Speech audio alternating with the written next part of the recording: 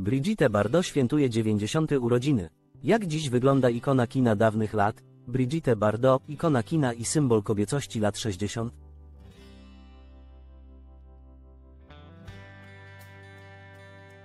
Obchodzi swoje 90. urodziny. Francuska aktorka, modelka i piosenkarka, która stała się międzynarodową legendą dzięki filmom takim jak I Bóg stworzył kobietę, od wielu lat nie pojawia się w świetle reflektorów.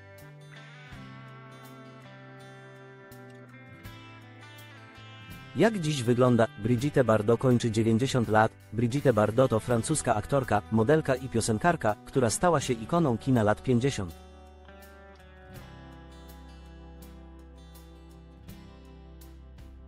i 60. oraz symbolem seksapilu tamtego okresu. Urodziła się 28 września 1934 roku w Paryżu.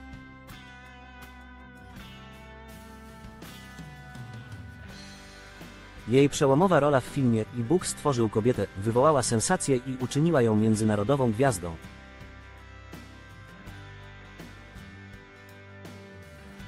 Bardot była znana z odważnych i zmysłowych ról, a także z naturalnej urody, która stała się inspiracją dla wielu kobiet.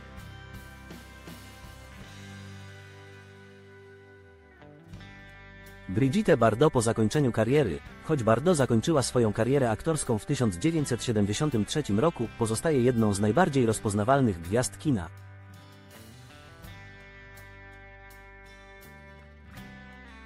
Po odejściu z filmowego świata zaangażowała się w działalność na rzecz praw zwierząt.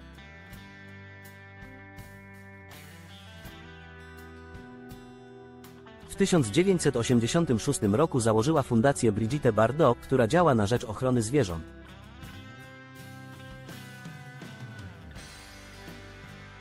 Bardot przez lata aktywnie sprzeciwiała się okrutnym praktykom wobec zwierząt, takim jak polowanie na foki czy ubój rytualny.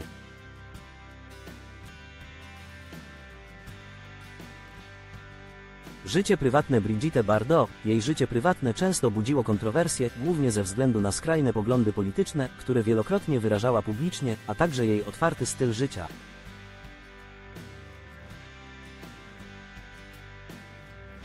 Była kilkukrotnie zamężna i ma jednego syna, Nicolasa Harriera. Bardot mieszka obecnie w Saint-Tropez, z dala od blasku fleszy, koncentrując się na swojej fundacji i ochronie zwierząt.